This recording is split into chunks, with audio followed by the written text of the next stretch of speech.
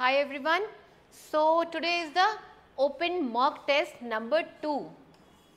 आज का टॉपिक क्या है it is fundamental rights fundamental rights से रिलेटेड जितनी भी रिलेवेंट टॉपिक्स हैं विथ रिस्पेक्ट टू कुछ फैक्ट्स हो गए, या कुछ स्पेसिफिकली आर्टिकल से रिलेटेड हो गए वील कवर इनटू दिस ठीक first question is Which of the following provisions correspond to freedom of speech and expression?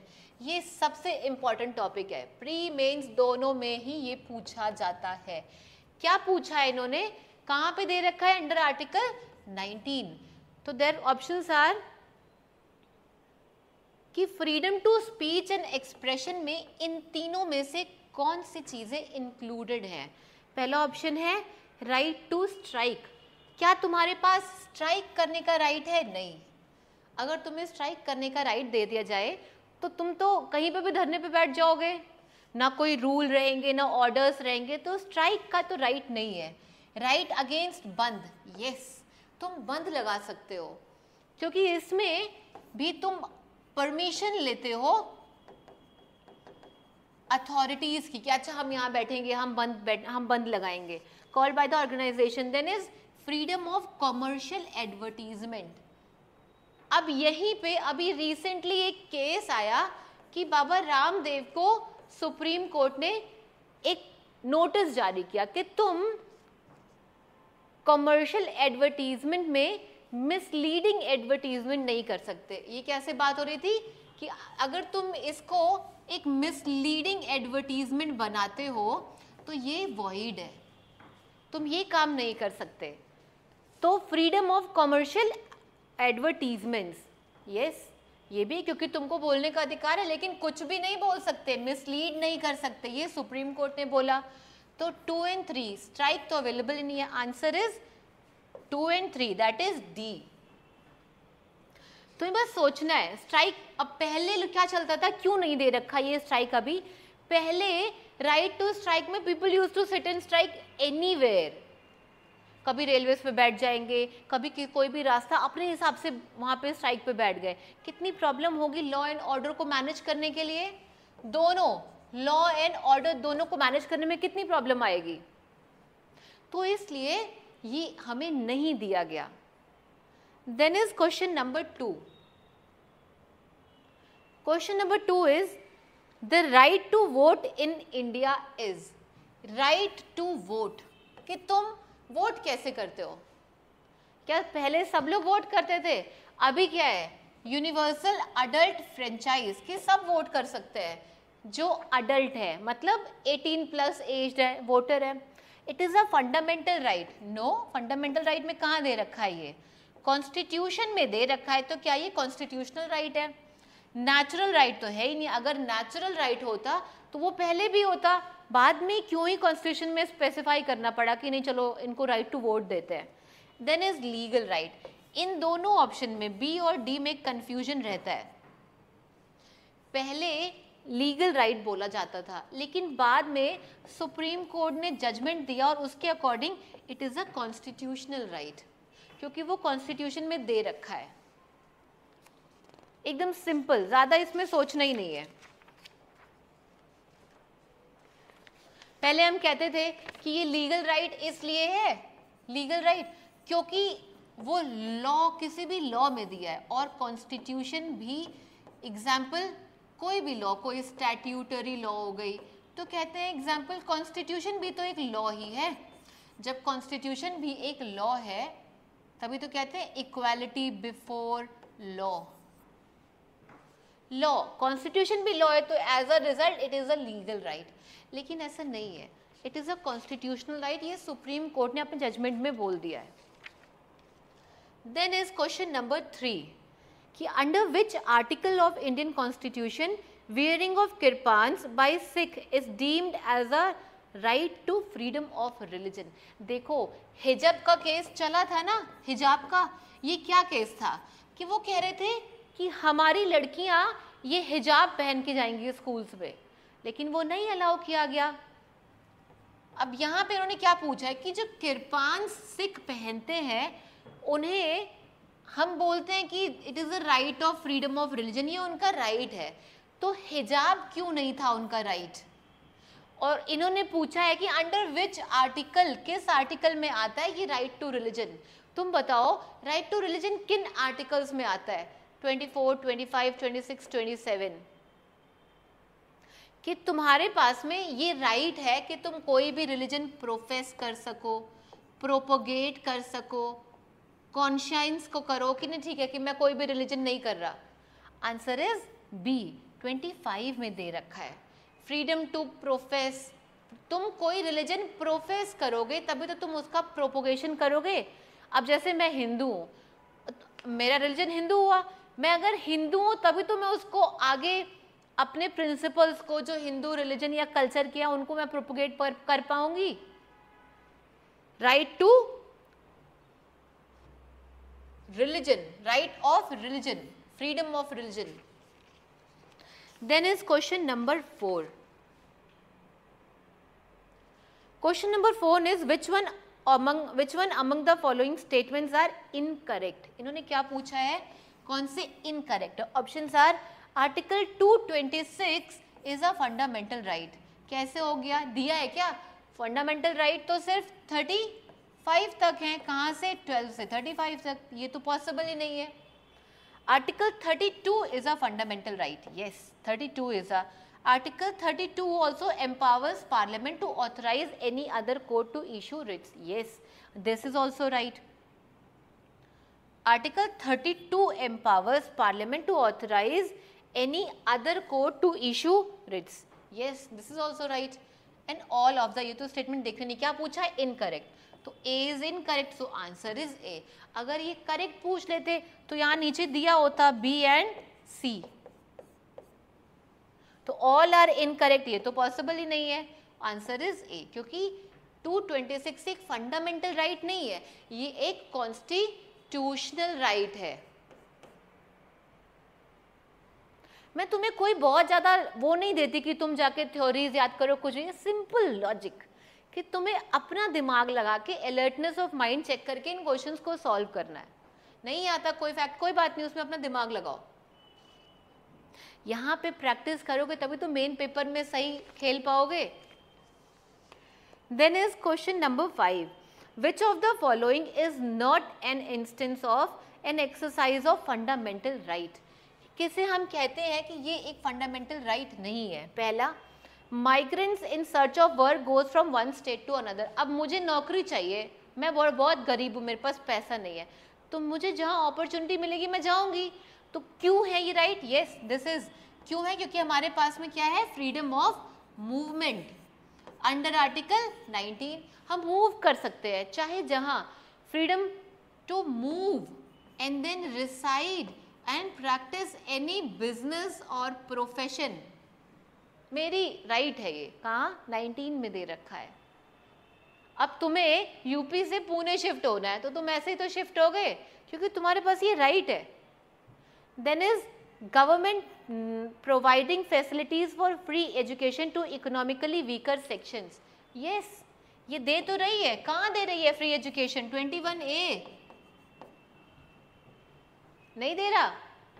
This is also right both right an individual not identifying himself with any religion. क्या 25 article ये देखो, ये भी दे रखा है। 25 में दे रखा है कि मैं कोई भी रिलीजन प्रैक्टिस करूँ या मैं कोई रिलीजन प्रैक्टिस नहीं करूँ, ये मेरी फ्रीडम है। ठीक? तो parents parents property is inherited by their children this is not a fundamental right क्यों? क्योंकि ये इनहेरिटेंस लॉ में आती है.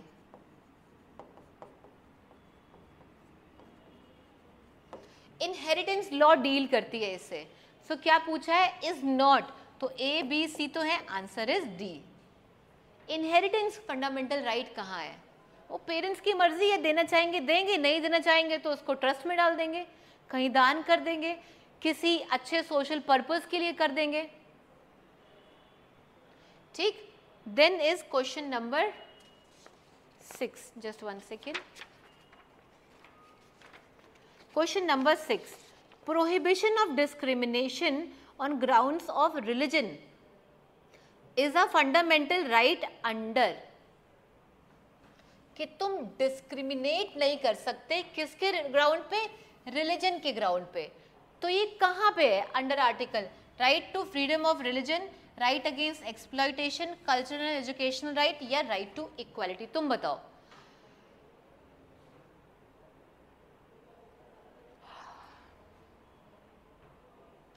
आर्टिकल 15 क्या कहता है?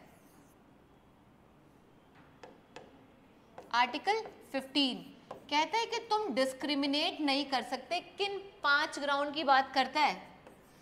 Religion race caste sex and place of birth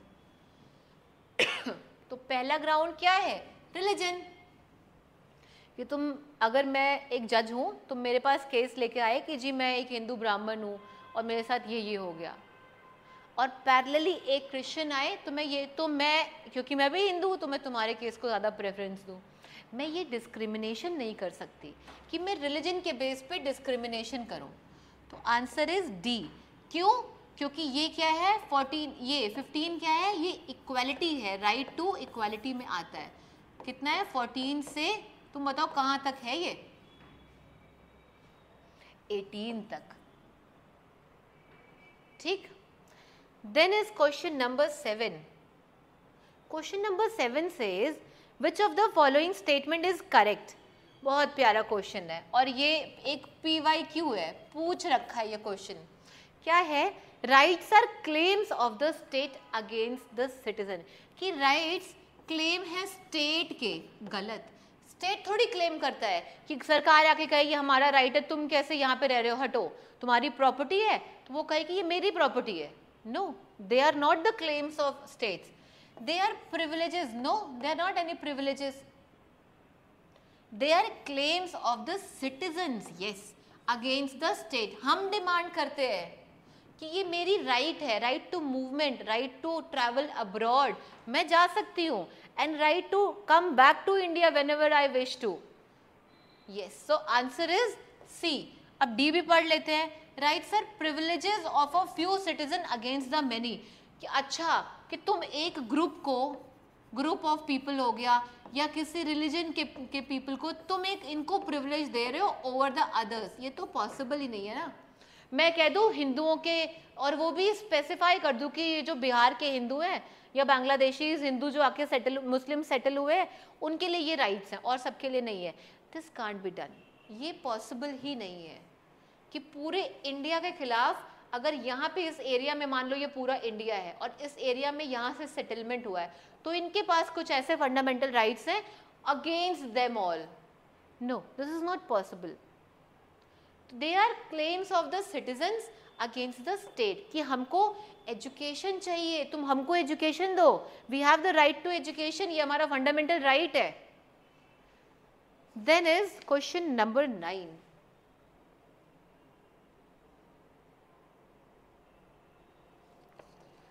Consider the following statements with respect to Article 29 and 30.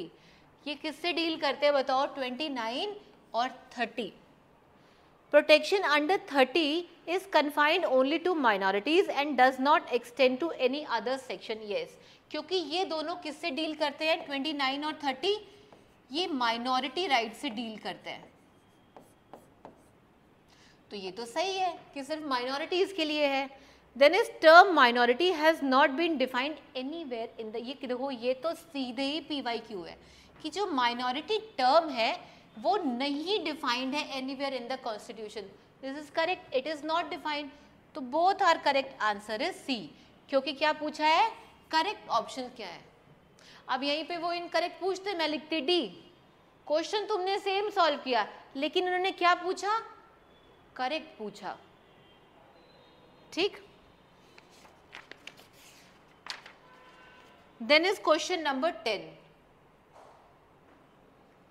Which of the following best indicates the need of principle of judicial review?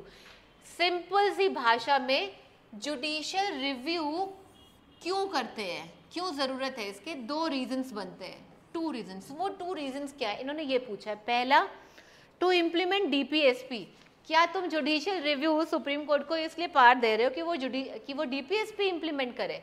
Absolutely wrong then is to maintain supremacy of the constitution yes यही तो काम है इसका कि ये देखे कि constitution के हिसाब से सारे काम हो रहे हैं या नहीं हो रहे हैं and then is to promote the unitary character of Indian federalism unitary ना ऐसा वैसा कोई काम नहीं है क्योंकि हमारा तो फेडरल है then is promote the funda protect the fundamental rights of the citizen yes ये दूसरा काम क्या करेगा? ये फंडामेंटल राइट्स को प्रोटेक्ट करेगा। कहाँ पे करेगा? अंडर आर्टिकल 13 उसको ये पार्स मिलती हैं। सो so, कौन से ऑप्शन सही है? Two and four answer is B क्या पूछा है? Correct then is question number eleven consider the following statements with respect to article 20 अब तुम मुझे बताओ आर्टिकल 20 में ऐसे कौन से तीन प्रोटेक्शंस अवेलेबल हैं? तीन प्रिंसिपल्स कौन कौन से हैं? Principles with respect to protections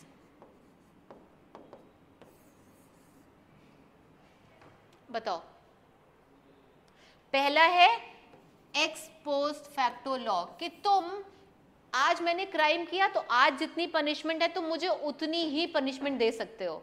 तुम ज़्यादा या कम नहीं कर सकते कि अगर मैंने 2020 में एक क्राइम किया था, और जिसकी उस समय पनिशमेंट थी वन ईयर और आज 2024 में उसकी पनिशमेंट हो गई है थ्री ईयर्स तो तुम मुझे तीन साल की पनिशमेंट दो। ये पॉसिबल नहीं है। दूसरा क्या है? डबल जियो जियोपार्डी डबल जियोपार्डी कि तुम एक पनिशमेंट मैंने एक मर्डर कर दिया तो तुम मुझे एक ही बार उसके लिए पनिश कर सकते हो। तुम बार बार सेम एक्ट के लिए पनिशमेंट नहीं दे सकते, ठीक? डबल पनिशमेंट नहीं कर सकते। तीसरा क्या है? तीसरा, तुम जाके फाइन करना। मैं बता दू? प्रोटेक्शन अगेंस्ट सेल्फ इंक्रिमिनेशन कि तुम मुझे फोर्स नहीं कर सकते कि मैं अपने खिलाफ एज अ विटनेस बन के खड़े हो जाऊँ और गवाही दे दूँ। अपने ही खिलाफ। तुम नहीं कर सकते। ये तीन प्रिंसिपल्स हैं आर्टिकल 20 से रिलेटेड इतना समझ गए? अब ऑप्शंस देखो। अ सिविल लाइबिलिटी और a tax can not be impose retrospectively अरे, ये तो बात ही नहीं है। Tax absolutely wrong protection against double jeopardy is not available in proceedings before departmental और एडमिनिस्ट्रेटिव अथॉरिटीज ये बिल्कुल सही है। हम तो यहाँ पे जुडिशरी की बात कर रहे हैं ना। Protection against self incrimination extends only to criminal proceedings and not to civil proceedings yes ये भी सही है कि जो सेल्फ इनक्रिमिनेशन है ना, ये सिर्फ़ क्रिमिनल प्रोसीडिंग्स में होता है। अब अगर आंसर इज़ बी क्योंकि करेक्ट पूछा है टू और थ्री करेक्ट है। अगर तुम्हें ये बेस ही नहीं पता कि आर्टिकल 20 में ये तीन प्रिंसिपल्स काम करते हैं। तो तुम इस क्वेश्चन को कभी सॉल्व नहीं कर पाते। तो ये तुम्हें देखना है, ठीक? Then is question number twelve इतना ही तो काम करना है। सीख लो। Writ of certiorari is issued by a superior court is issued by a superior court कौन सा? सर्शायोरी कब इशू करते हैं? To an inferior court to transfer the record of the proceedings in the case of review yes ये पहला option ही correct है कि वो इंफीरियर कोर्ट्स को इशू करते कि तुम जो कोर्ट देख कोर्ट में, तुम अपने कोर्ट में जो केस देख रहे हो ना, उसको तुम ट्रांसफ़र करो किसके लिए? रिव्यू के लिए कि शायद वो वो तुम्हारे जूरिस्डिक्शन में नहीं आता। To an inferior court to stop any further नहीं नहीं, यहाँ पे तो फाइनल हो चुका है। To an officer no to public authority नहीं, ये जाता ही इन्फीरियर कोर्ट्स पे है। इट्स आंसर इज़ ए दो रिट्स जाते हैं इन्फीरियर कोर्ट्स को। एक जाता है सरशायरी एक जाता है प्रोहिबिशन इन दोनों में क्या डिफरेंस है? प्रोहिबिशन में अभी केस पेंडिंग होता है और सरशायरी में केस डिसाइड हो चुका होता है। तभी बिश्तिल्लाओ भेजो, मैं रिव्यू करता हूँ, वो तुम्हारे जूरिस्डिक्शन में था या नहीं था। Then is question number fourteen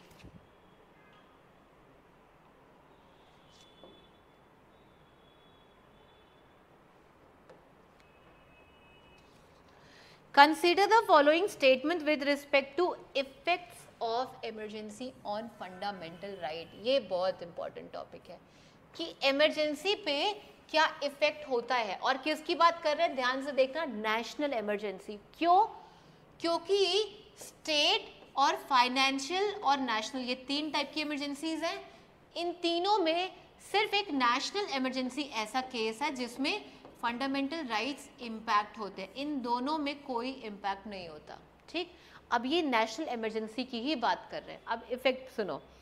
पहला article 358 automatically suspends the fundamental right under article 19 बिल्कुल, इनका इम्पैक्ट कहाँ दे रखा है?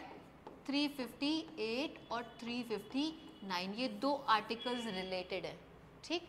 इम्पैक्ट से। अब ये कह रहे हैं कि 358 कहता है कि ऑटोमेटिकली सस्पेंड हो जाएगा। कौन सा fundamental right 19 this is correct वो ऑटोमेटिकली सस्पेंड होता है। इसमें तीन आते हैं कि 19 ऑटोमेटिकली सस्पेंड हो जाएगा।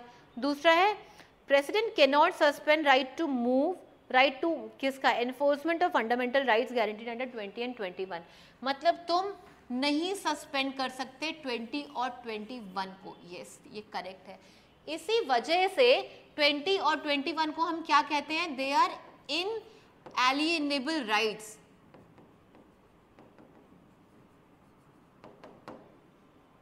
तुम इनको कभी नहीं हटा सकते इमरजेंसी हो नॉर्मल कंडीशन हो रिमूव ही नहीं कर सकते। Then is six fundamental rights under article 19 can not be suspended गलत है, कैसे कह रहे हो? अभी पहले में तो बोला है automatically they can be suspended when emergency is declared on the grounds of arm rebellion ना रॉन्ग आंसर इज़ वन और टू करेक्ट है। आंसर इज़ बी कि उन्होंने क्या पूछा है? कौन से करेक्ट है? आर्म्ड रिबिलियन के बेसिस पे। तुम इसको नहीं डिक्लेयर कर सकते। वो नेश ये तो इंटरनल इमरजेंसी हो गई ना। देन इज़ क्वेश्चन नंबर 14 हो गया question number 15 which of the following are included in rights against exploitation ये बहुत प्यारा क्वेश्चन है। राइट अगेंस्ट एक्सप्लॉयटेशन तुम्हें मैंने फंडामेंटल राइट्स दे दिए तो तुम अब कोशिश करोगे क्योंकि जब भी कोई व्यक्ति थोड़ा सा पार पाता है ना, जैसे मेरे पास पावर आ गए फंडामेंटल राइट्स का। कल नहीं था। कल अगर मैं शूद्र हूँ तो मेरे पास अनटचेबिलिटी का राइट नहीं है। तो अब यहाँ पे मुझे राइट मिला। अब मैं क्या करूँगी? मैं दूसरों को एक्सप्लॉइट करना शुरू करूँगी। इस चीज़ को बचाने के लिए अब एक्सप्लॉइट किसको किया जाता है? जो वीक है। अब वीक कौन है? बच्चे हैं विमेंस हैं ओल्ड एज है वलनरेबल ग्रुप्स हैं एस टीज एस सीज हैं। तो इनको बचाने के लिए क्या दिया गया?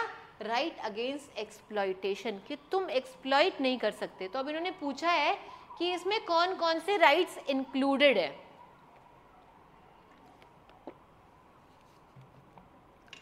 पहला है abolition of force labour yes तुम फोर्स लेबर नहीं करा सकते। Prohibition of trafficking in human beings तुम ट्रैफिकिंग नहीं कर सकते करेक्ट तीसरा है prohibition on employment of children below देखो, तुम ज़बरदस्ती लेबर नहीं करा सकते। तुम लोगों की ट्रैफिकिंग कहते हैं ना, बेचते हैं लोगों को कमाने के लिए, क्योंकि उनके ऑर्गन्स बहुत महँगे आते हैं। ये नहीं कर सकते। और तुम बच्चों को एम्प्लॉय नहीं कर सकते, जो बिलो 14 ईयर्स हैं, कहाँ पे? किसी भी हेजार्डस वर्क में। क्योंकि ये क्या होता है? बच्चों करते क्योंकि ये चीप लेबर है। तुम्हें अपना काम कराना है, कोई भी करे, तुम्हें क्या फ़र्क पड़ता है? लेकिन ये तुम एक्सप्लॉइट नहीं कर सकते। Four is abolition of untouchability untouchability तो किधर आ गया? सेवनटीन आ गया। वो किधर गया? राइट टू इक्वालिटी तो चौथा नहीं है। और one two three option are correct answer is इन्होंने करेक्ट पूछा है B one two and three then is question number sixteen 16 is saying a British citizen staying India can not claim the right to अब किसकी बात कर रहे हैं? British citizen मतलब हमारे लिए कौन हुआ? वो फॉरेनर हुआ। तो सिंपली एक फॉरेनर के पास में कौन सा राइट नहीं है? राइट टू विच राइट मतलब कुछ ऐसे फंडामेंटल राइट्स हैं जो सिर्फ़ सिटीजन्स के पास है और कुछ है जो सिटीजन्स और फॉरनर्स दोनों के पास है।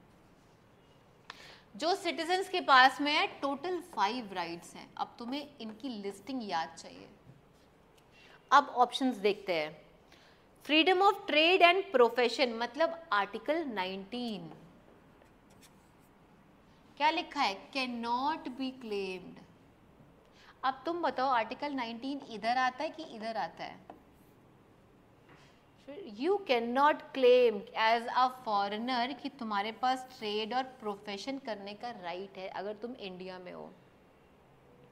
क्योंकि 15 हो गया 16 हो गया 19 हो गया, ये सब इधर आते हैं। तो 19 क्या है? ये सिर्फ़ सिटीजन के लिए सॉरी सिर्फ़ सिटीजन के लिए, ये फॉरेनर के लिए नहीं है। There is equality before law ये तो 14 हो गया। और 14 किधर आता है? वो तो इधर आता है। तो ये तो नहीं है। ये तीनों ही नहीं है। Protection of life and personal liberty 21 वो भी इधर आता है। फ्रीडम ऑफ़ रिलीजन 25 से 28 भी आर्टिकल्स इधर ही आते हैं कि तुम बाहर से आए हो, तुम एक क्रिश्चियन हो, या तुम एक मुस्लिम हो तो तुम यहाँ भी आके वही रहो। तुम्हें इतनी फ्रीडम हमने दे रखी है। ठीक? So answer is A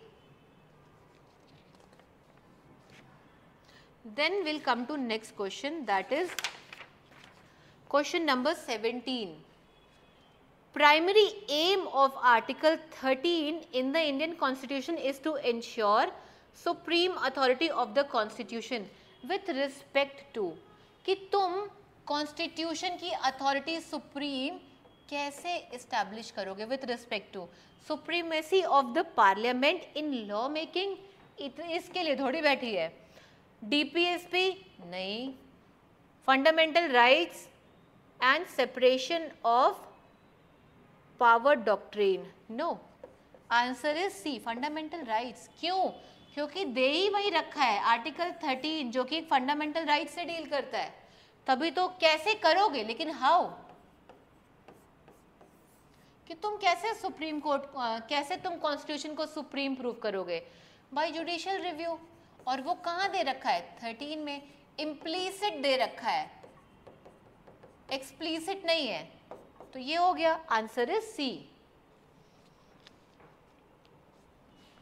then is question number 18 which of the following doctrines and ये बहुत स्ट्रेट फॉरवर्ड क्वेश्चन है। Will take question number 19 how many of the following writs are correctly match अब ये मैं, मैंने क्यों लिया? ये भी एक डायरेक्ट क्वेश्चन है, लेकिन इसमें देखो, इसमें इन्होंने डायरेक्ट नहीं पूछा। इन्होंने पूछा है कि इनका पर्पज़ क्या है? इन्होंने ये नहीं पूछा क्या है? जैसे हेबियस कॉर्पस का मतलब bring the body bring the body लेके आओ, दिखाओ मुझे। क्यों? क्योंकि तुमने क्या कर रखा है? अनलॉफुली डिटेन कर रखा है उसको। तो सुप्रीम कोर्ट कौन सा रिट पास करेगा? Habeas corpus bring the body in front of me ठीक? तो ये तो सही है। देन इज़ मैंडमस मैंडमस का मतलब बाय वॉट अथॉरिटी तुमने किस अथॉरिटी से ये काम किया? या किस अथॉरिटी से तुमने ये काम नहीं करना था, तुमने किया? Order public official to perform a duty तो ये क्या कहता है? मैंडमस कहता है वी कमांड यू कि तुमने अगर अपनी एक पब्लिक ड्यूटी नहीं की है तो तुम जाके करो और अगर यही होता ही है, क्यों नहीं की है? Answerable then is quo warranto quo warranto by what by what authority तुमने क्यों किया? मुझे दिखाओ, क्या वारंट है? क्या रीजन है? तो वो क्या करेगा? लीगैलिटी चेक करेगा. Person right to hold a public office yes कि तुम किस अथॉरिटी से इस ऑफ़िस में बैठे हो? दिखाओ मुझे, अपना अपॉइंटमेंट लेटर दिखाओ। देन इज़ सरशायोररी मतलब एक रॉन्ग केस तुमने डिसाइड कर दिया quash the decision of a lower court क्योंकि तुमने एक रॉन्ग केस को ले लिया था जो तुम्हारे, अभी मैंने बताया था जो तुम्हारी ड्यूरिस्डिक्शन में नहीं आता है। तो इसमें क्या है? सारे ही सही है। All the four are wrong answer is all the four are correct answer is D कि उन्होंने सीधे नहीं पूछा इनडायरेक्टली पूछ रखा है। Yes Rajni good evening indirectly पूछ रखा है, ठीक? Then is question number twenty which of the following statements regarding rights are correct with respect to rights they are correct rights place obligation on the government ये सरकार को कहता है कि तुम ऑब्लाइज हो ऐसा परफॉर्म करने के लिए यस क्योंकि वही तो है कि they are claimed claims of citizen against the government कि आपको ये काम करना पड़ेगा। मेरे पास राइट right है। Then is it also places obligation on citizens yes ये भी करता है। कैसे? गवर्नमेंट का तो हमको समझ में आया सिटीजन पे कैसे करता है? जैसे एक अनटचेबिलिटी का एग्ज़ाम्पल ले लो। कहाँ पे है? राइट अंडर आर्टिकल 17 या तुम एबोल्यूशन ऑफ़ टाइटल्स ले लो आर्टिकल 18 या तुम डिस्क्रिमिनेशन ले लो कि तुम डिस्क्रिमिनेशन नहीं कर सकते आर्टिकल 15 ये काम कौन नहीं कर सकता? हम एज अ सिटीजन क्यों? क्योंकि ये फंडामेंटल राइट right है सामने वाले का। कि मैं एक शूद्र को कहूँ, दूर हट। तो मेरे घर में खाना नहीं खा सकता। तो मेरी प्लेट में, मेरी मतलब सेम प्लेट में कि एक टाइम पे कल को तुम खा रहे हो, ऐसा नहीं हो सकता, कोई कॉमन शेयरिंग नहीं है। क्योंकि तू रीजन क्या है? क्योंकि तुम एक नीची जाति को बिलोंग करते हो अनटचेबल हो। ये प्रोहिबिट करता है। पनिशेबल ऑफेंस है।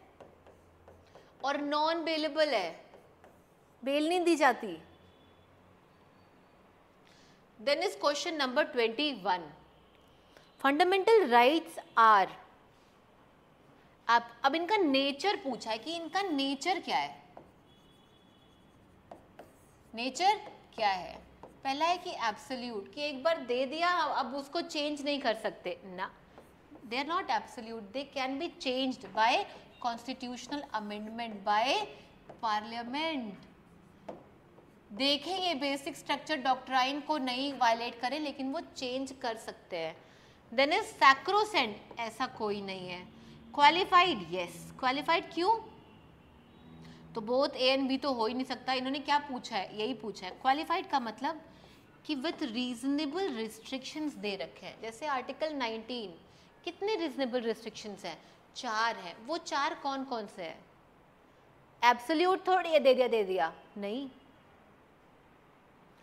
Then is article then is question number twenty which of the following right is not explicitly not explicitly mentioned in the fundamental rights but upheld by several pronouncements of the supreme court supreme court इसको upheld करता है लेकिन verbally mentioned नहीं है equality before law तो दे रखा है 14 में right to non discrimination in public employment ये भी दे रखा है 16 में देन इज़ फॉर्म एसोसिएशन और यूनियन ये भी दे रखा है 19 में बचता ही एक ऑप्शन है that is right to freedom of press ये कहीं भी मेंशनड नहीं है इम, मतलब ये इम्प्लाइड है कहाँ पे? आर्टिकल 19 में।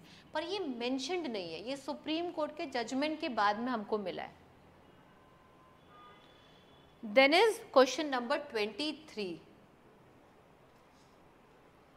which of the following rights are covered under right to freedom of religion? कि freedom of रिलीजन में कौन कौन से राइट्स कवर्ड है? As per Indian constitution right to freedom of conscience to profess practice and propagate any religion yes 25 यही तो कहता है 25 अभी तो इसी पे डिस्कशन हो रहा था। It is correct right to establish and maintain institutions for religious and charitable minority का काम ही यही है कि मैं अगर एक माइनॉरिटी हूँ जैसे मुस्लिम्स अपना चलाते हैं। क्यों चलाते हैं वो पढ़ाने के लिए? क्या चलाते हैं तुम बताओ। हमारे लिए स्कूल्स हैं, मुस्लिम के बच्चे कहाँ जाते हैं मस्जिदों में पढ़ने के लिए? तो वो क्यों चलाते क्योंकि वो माइनॉरिटी है और ये उनका रिलीजियस राइट है under article 26 right to receive public fund for religious नहीं, ये तुम्हारा राइट right नहीं है। कि तुम्हें एक अपना रिलीजियस इंस्टीट्यूशन क्रिएट करना है और तुम उसके लिए फंडिंग का राइट right रखते हो। नहीं। ये ये राइट right है ही नहीं। सो फ्रीडम ऑफ़ रिलीजन में one and two are correct क्या पूछा है? Correct answer is A actively जब तुम इन्वॉल्व हो गए किसी एक प्रोसेस को करते हो ना, तब उसमें मज़ा आता है। वरना मन सो रहा होता और कुछ नहीं होता। Is question number twenty four which of the following is a constitutional exception to right to equality under article 14 ये क्या पूछ रहे हैं? 14 के 14 क्या है? Right to equality. इसके exception पूछ रहे हैं।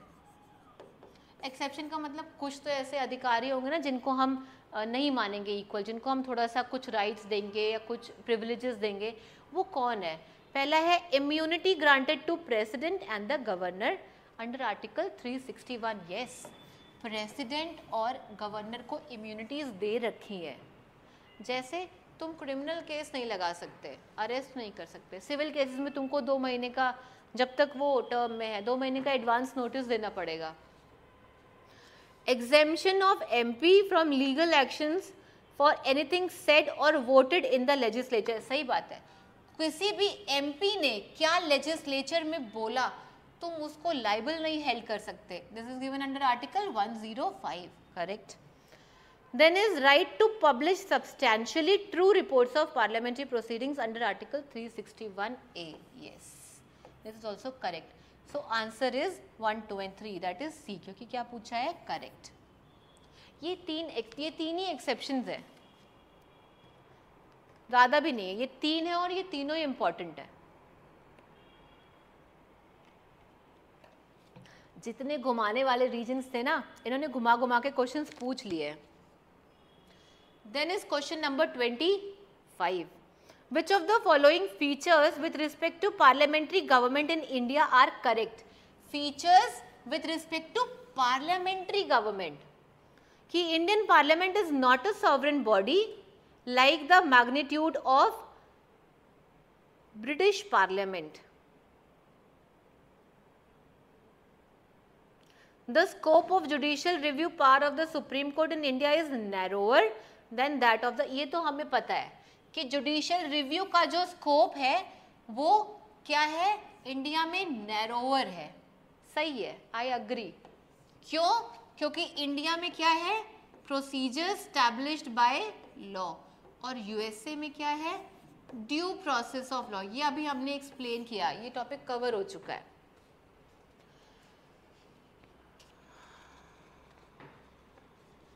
लिखा है Indian parliament is not a sovereign body like British parliament ये स्टेटमेंट थोड़ा सा कॉन्ट्रोवर्शियल है. So leave this question then is question number leave this option तुम एक इंफॉर्मेशन मिली, उसको ले लो. Is question number twenty six wit is which is true about right to privacy right to privacy क्या कहता है? सिलेक्ट द करेक्ट आंसर पहला option है इट इज़ एक्सप्लिसिटली मैंशन लिखा है कई फंडामेंटल राइट right में? नहीं, ये तो अभी अभी आया है। सुप्रीम कोर्ट ने जजमेंट दिया था। Then is it is not recognise as a fundamental right not गलत। It is a fundamental right it is a statutory right. No, it is a fundamental right. It has been recognized as a fundamental right yes under the right to life and personal liberty yes so it is a fundamental right under article 21 किस case में supreme court ने बोला था पुट्टू स्वामी case में कि ये एक fundamental right है कितने बेसिक क्वेश्चंस हैं लेकिन अगर ये एक ही जगह पे एक ही समय पे इनका रिवीजन नहीं हो तो फिर कोई फ़ायदा नहीं है then is question number twenty seven how many of the following are correct article 12 definition of the state सही है? सीधा सीधा स्ट्रेट फॉरवर्ड क्वेश्चन है. Article 13 laws inconsistent with the fundamental rights yes both are correct article 14 is equality before law ये देखो, इसको यहाँ देखा है 15 को इधर दे रखा है प्रोहिबिशन ऑफ़ डिस्क्रिमिनेशन तो ये दोनों ही गलत है। तो उन्होंने क्या पूछा है? करेक्ट तो only two pairs are correct answer is B